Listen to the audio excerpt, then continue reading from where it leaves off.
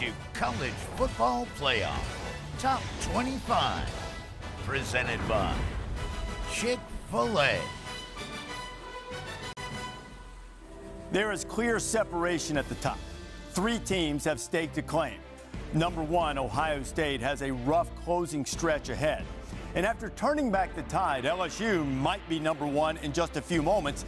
And the Bayou Bengals appear to have clear sailing at least until championship week. Clemson also appears to be in the express lane to the playoff. So if three spots are already on near lockdown, what a fight it is going to be for that final chair at the playoff table. Maybe up to eight teams in contention, all of them flawed by performance, record, or resume. But among that group, there are two who still have a zero in the lost column. Old Goldy's never going to give up that oar, but it appears the Gophers have attached a rocket powered outboard engine to their boat and have rowed their way to validation. Baylor can do the same thing this weekend. The stakes keep getting higher. We're about to find out who's in. For now.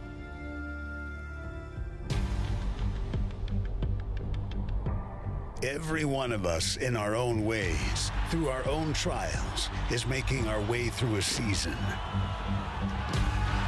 In its great wins and hard moments and sudden losses, there's an answer we all seek to know and all want to find.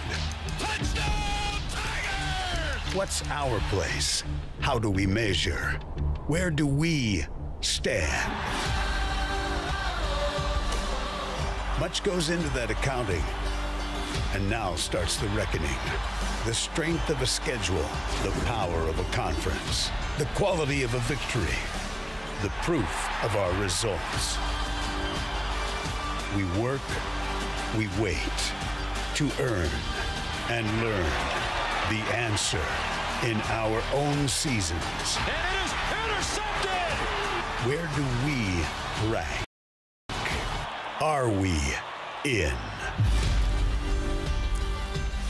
We will find out who's sitting atop and who came out of that meeting in Grapevine, Texas. This is the selection committee war room where selection committee gathers every week, pouring over resumes. Ronnie Lott, obviously pleased with his work. Maybe so too. Joe Castiglione, the athletic director at Oklahoma. Rob Mullens.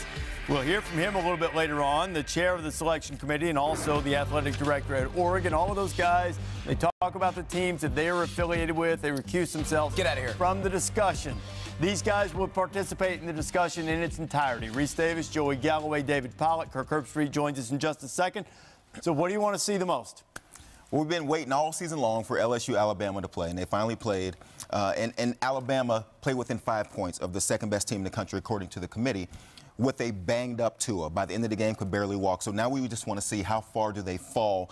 Uh, there's a group of one-loss teams in there with Georgia and Oklahoma and Utah and, and Oregon sitting there. So does Alabama fall within that group and still have a shot at getting back into the top four by the end? Yes, sorry. Um, when you when you look at the next thing for me is the committee tells us every year that every week is a week to week to basis and it's an empty slate. If that's the case, Minnesota, where are they? They today because what they did last week, they beat the number four team according to the committee, and they kind of dominated the game. They did a great job start to finish. So if it's a week to week thing with the committee, how much does the Gophers go up and up and up? I could see at least 10 spots. It is a week to week thing, and I agree with you, but it's also entire body work. They don't discount everything. A that's big week. There, now. there were Yes. That's six, big week. there were six teams with two losses Hey, ahead man, of Minnesota. uh, they're going to they're going to go tonight. on. They gotta go. I, I told Nope. you in the open, Yeah. they, they've got a, a rocket-powered outboard engine Yeah. on that boat now, helping them row. Uh, Kirk Herbstreit joins us now. So, Kirk, what is it that you're most looking forward to seeing when we unveil the rankings in just a second? Well, I think you guys are touching on the things that are the most intriguing. You know, where Minnesota goes at last week at 17, beat number four. I, I just think the rankings themselves, you know, is anybody able to jostle and move a little bit ahead of where they were a week ago? Georgia was down at six last week. I think they could be in the top four this week. Uh, Joey, you bring up a good point about Alabama. You know, what, what did the committee see in that game? Uh, you talked about Tua. He still for, threw for over 400 yards. He doesn't play defense. I think Joe Burrow is still going through that Alabama defense. So uh, it, it was not a game that I think helped Alabama, even though the score was a little bit closer than maybe some people think. They may be sitting at five this week, uh, Rece, but uh, it'll be interesting to see where they go in future weeks. All they have really is the game at Jordan Hare in a couple weeks against Auburn. What, what we're going to debate is even if Alabama is four tonight, and I don't think my colleagues agree with me, I don't think they can hold it. Uh, we'll find out. But everybody else can hand it to them and let them keep it. We'll see. PJ Fleck's going to join us in a little while. Rob Mullens will talk about the committee's decisions. And of course, you see these things just as soon as we do, so let's get to it right now. Let's take a look at this week's college football playoff rankings brought to you by Chick fil A. Appalachian State into the rankings. They were unranked in the initial outlier, and Kansas State, after the loss to Texas, they fall to 24. What do you see there, Joe? Yeah, and this is sort of that area where you start to look for that group of five team. Who's going to be the highest ranked group of five uh, that would play in the in the Cotton Bowl this season? And it appears that Cincinnati right now would be higher ranked. We don't see them yet from 21 to 25. That's a good call. Boise State keeps finding ways to win. They're in 21 to 25. Now, as we go 20 through 16, there are the Bearcats that Joey mentioned, up three spots to 17, just behind Notre Dame. Memphis right on the heels, and Cincinnati, Memphis will figure all of that out in the American. Kirk, what do you see in this group?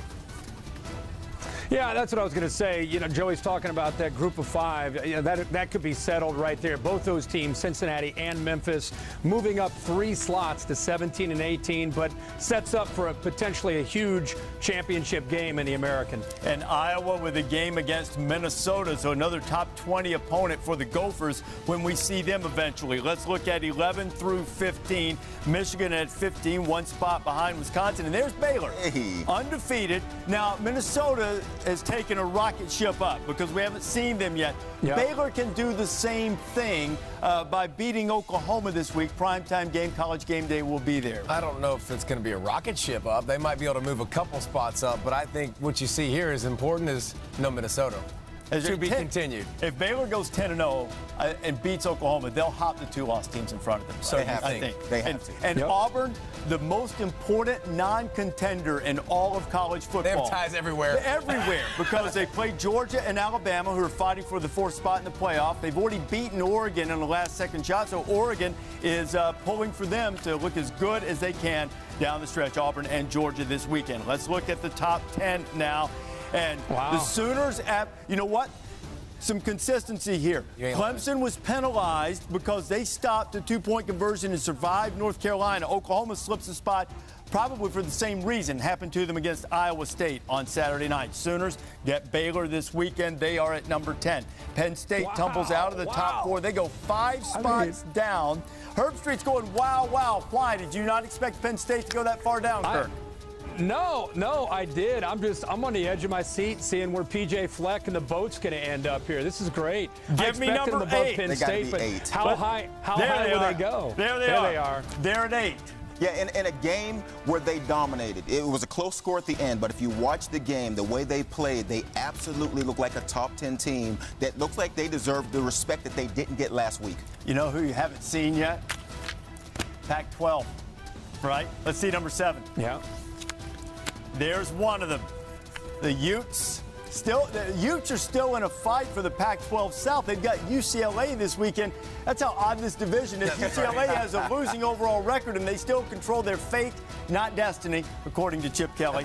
Uh, so UCLA and Utah this weekend at number seven. So the Utes at number seven in position potentially uh, to make the playoff. So uh, you look at this right now. Uh, David, what's the biggest surprise you've had? Are you upset because you wanted Minnesota at least a six? I think they should have been up there. Uh, I mean, again, we're taking this week by week. That was a that was an awesome performance. And here's the thing: when I when I look at Baylor and Minnesota, I can separate the two very easily. Listen, Minnesota's been doing this for a whole month. Minnesota is on the up. You can see them. Tanner Morgan has settled in. He's doing great. He's got an elite group of wide receivers, elite group of wide receivers. I think that team has definitely been rising consistently. Baylor's been kind of just flubbing around, triple overtime, Texas Tech, double overtime, TCU. So I think Minnesota. Three points West Virginia. Three points west. I mean, it's just been kind of ugh. And, and I think if Tanner Morgan can duplicate what he did against Penn State, uh, coming into that game, he's completing 65%. He was up and down at times. In that game, 18 of 20, and made Hard to do that every week. throw. but, but he made every throw. Offensive call, game calling was terrific. Now, if they can continue that, they got to do it more than one time, I believe. And so, if he can t- continue that, they'll keep moving up. All right, before we go top six, Kirk, what's the biggest thing that jumped out at you, 7 through 25? Anything you saw there so far? That roar I just heard from the football facility in Minneapolis, the fact that they're up in that top eight right now and feeling good, everything is in front of them. Let's not get carried away here. That was a great win against Penn State. They're going to Kinnick Stadium Saturday. Like they need to just just keep their focus right now and just try to win every single week because it's all in front of them. They got Iowa, they got Wisconsin. They could have a Big Ten championship. So they're they're they're just fine with that ranking right now. They made a big jump from 17. Hey, I, I'm going to tell you, Kirk, right now, this may sound crazy. They can afford a loss. One. Now, if they I- I win, think kind of yeah, probably if they win, lost. if they win a close loss, if they win the Big Ten. If, Yes. If they okay, let's Yeah, show all the top yeah, six. yeah, that did sound crazy. There, there's, a, but I'm Kinda telling you, Yeah. let's start at the top because that's where less of the suspense is. LSU, as expected, has moved into the top spot. Hard. To, I mean, if you think Ohio State would win the game, that's a reasonable thing to to think. But LSU's resume, Is- combined with the weight it has played, most deserving to be at number There's, one. there's no doubt. And listen, you, you can use your eye test to say they're really good, but you also use the body work and go, they're also really, really good. Absolutely. Top two teams going to be LSU. I expect to see Ohio State at number two, and we do. Buckeyes slip out of that top spot through no fault of their own. LSU went to Alabama and won, and they are rewarded for it. Ohio State still sitting All right, there let's at get to two. three. Come on, come you on. You know who three is? Three's going to be Clemson, There and we the go. Tigers are 10 and 0. They're on their way to the ACC championship game. Uh, there's nothing. There is no reasonable way that Clemson could stumble before the playoff. I mean, so they're Well, going we to thought in that against North Carolina also, and, and they That's came true. close to stumbling. Now, Wake That's true. Forest, they have this week, who hasn't looked good. They lost last week, so, you know, we, we don't expect it. All right. Let's see who number four is for the moment. That's when it gets weird. Number four is Georgia. So Georgia hasn't Yep. always looked sharp. Great offense has been challenged at times, but the Bulldogs, they've got that. They've got that. It wasn't the magnitude, but they've got the Ohio State-like loss from the last couple of years on That the wasn't, resume. too. wasn't pretty. Penn State lost a couple years ago as well. But I think when you look at Georgia, there's two really big wins with Florida and Notre Dame. Those are two big wins that they're, they're going to get credit for. And number five is Alabama. Just behind on the outside. It's going to take a lot of stumbling on the outside for the Crimson Tide to move into the top four. And if that doesn't happen, this will be the first playoff without Alabama. And Oregon still with only the one loss in the last second to Auburn. So Oregon in position, uh, perhaps, to make it to the college football playoff. LSU has its highest ranking in the playoff era at number one. Minnesota makes the largest jump into the top 10. They moved up nine spots, showing that, as David mentioned, the committee is watching week to week and rewarding performance. Baylor has the lowest ranking, the 9 0 team from the Power Five in the college football playoff era. And no team That's awesome. Nobody held their spot. Kirk, you see it now. You see the top four. Georgia at number four. Are you in agreement with what the committee uh, selected at this juncture? Yeah, right. As we sit right now with the results from last week, uh, I, I thought Georgia would be at four personally and Alabama at five. I, I thought Minnesota might be up in the top six. But uh, what David said is, is accurate at this point. I know they had the loss against South Carolina at home. It was not pretty, but I think what happened last week opened the door for them to slide from six up into the top four because of impressive wins against Notre Dame and against Florida. So for now, no issue at all. The interesting thing is, as we move forward, is Alabama. Uh, if Georgia eventually loses, whether it's to Auburn or it's the SEC championship game, those are two big hurdles. What happens to Alabama? Do they move up? Or is there a little bit of a ceiling and teams behind them potentially going up and over them? By the way, Rece, I don't think that would happen until the last weekend when you start to see conference championships potentially out of the Pac 12 or the Big 12 is when they might go by Bama. That, I, I agree. That's why I say I don't think Alabama can do anything to hold its spot or to move up. What they have to ha- have hope for is to have everyone else hand Well, it let me to ask you them a by question real messing quick, up. though. To that, do you, do you think if Minnesota wins the next two weeks, they'd be up behind Bama? I think Uh, they we're be. talking about at the end. I'm talking about at But I'm saying before end. the end. That's before the end. That's before the Big 12, Big 10 championship game. I, s- I think they could pass up Bama before that point. Probably But so. with yeah, but wins. that's what I'm saying. That- I that think wouldn't the be the one- behind them have to give it to them. They have Yeah, to but that wouldn't be the one that mattered at the end of the day. Oregon at six and Utah at seven is the one that is going to threaten Alabama's ability to stay where they are because you assume that Georgia, LSU have to play one another. Ohio State has a tough one coming up. Uh, Minnesota have to get past past Ohio State eventually. But at six and seven, if I'm the Pac-12, and we talked all season long almost that the Pac-12 was out of this thing. Now sitting at six and seven, they look like they're in a pretty good spot because of the teams ahead of them. Now, look, it's quite a task for Minnesota to go undefeated. I understand that. Definitely. But I think the Pac 12 teams have to be wary of Minnesota because Yeah. they've got Iowa ranked, Yeah. Wisconsin ranked, still in the regular season schedule, and then likely a date with Ohio State, potentially Penn State again, but probably Ohio State. So Minnesota, Kirk, really has everything in front of them, and I think the Pac 12 has to also root for them to get out of the way because they have a, still more growth potential, even more than they've shown so far.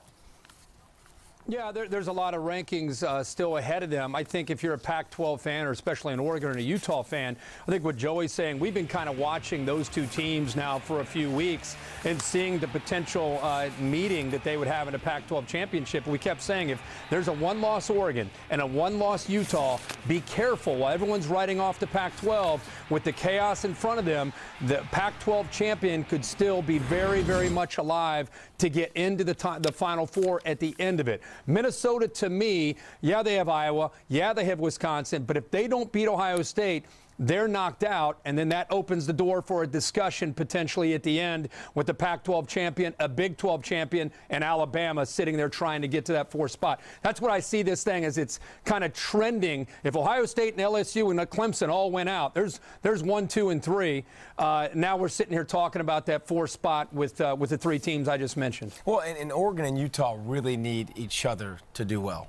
Like they have to both right. be one-loss teams when they get to that point. They need each other to do well so they can get that signature win. Because here's the deal: if you look at Oregon and Alabama, you want to talk about uh, Alabama only beating A&M. That's a better win probably than Oregon has. That's a better win than probably Utah has. So, you know, one other thing too to point out here is the Big 12's in trouble. That's what I was The going to Big 12 is, I mean, if you want to point to a conference that has a good chance of being left out, once they start beating each other, I mean, you look at 10 and 13 playing each other, that doesn't give them a, a big boost up the rankings either. So they're going to be kind of be hanging in the same spot. Well, what we assume was their best team has been in a struggle. Oklahoma has lost, and then they win. They stop a two-point conversion last week to win, and so they should be in trouble. It's not like a situation where uh, Minnesota's looked really good, and we're talking about them. The Big 12, on the other hand, has tried to be in trouble because their best team, which we assume is Oklahoma, hasn't looked great. Now, if Baylor can beat them, I don't know that they get the same credit that a Minnesota just got. But as far as the Big 12 is concerned, I think it would help them if Baylor won that game. Now, uh, there would be an undefeated uh, champion Being potentially if Baylor could win out. Kirk, what do you think?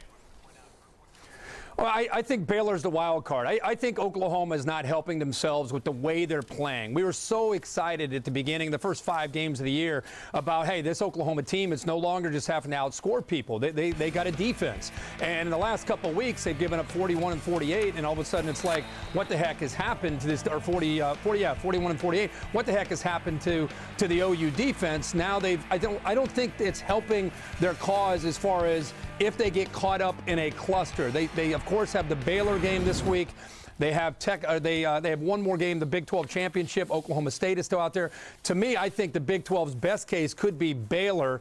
If Baylor were to upset OU this weekend, they have Texas left. They would have a Big 12 championship game left, and then it comes down to what you just said: how far of a jump do they get by beating Oklahoma at home? Do they get up in there with Utah and Oregon to give themselves possibly a chance going into the last weekend of the year? You know, there there is another debate. We're not going to dive in here. I'm just going to be called foreshadowing a little bit that we're going to get in later. There's no telling America The, pay best. Exactly. the best debate, the most compelling one, is you have these one-loss champions, and you have Georgia lose a close game at Auburn this week, but then beat LSU in the SEC championship game. Uh, then you have two-loss Georgia, but SEC champion. You got to figure LSU already has a spot, One no a week. what. One, one a week. One a week? You have one a week where it's like if this and this and this, then love- it's interesting. Uh, I wanted to give you a chance to think about your position on such a matter. Got it. We, we wrote that. You, you ready? You know, what- you know what, you know what Got it. Joey's position is? Whatever the rankings are right Yeah, now, exactly. they should stay right go. in that order Let's until roll. somebody loses. and move up. Exactly. Clemson is underrated. Yeah, underrated. Come on. All right, more, much more coming up. PJ Fleck is going to join us in just a little bit. Coming off the biggest win he's had at Minnesota by far, but much more ahead. The Gophers head coach going to crowd surf right on into college football playoff top 25. Rob Mullens, his uh, job as the chair of the selection committee. We'll talk to him about the change at the top. First time a number one team has won and fallen out of the top spot in the college football playoff era. Rob will answer lots of questions coming up and basketball on the way. Phil Knight Invitational from Portland, Oregon, number 15. Rob, the athletic director there, taking on James Wiseman, who I, I guess is going to play 9 Eastern on ESPN and ESPN app. College Football Playoff Top 25 is presented by Chick fil A. Try their grilled nuggets for a bite sized backyard taste of the grill on the go. And in part by AT&T.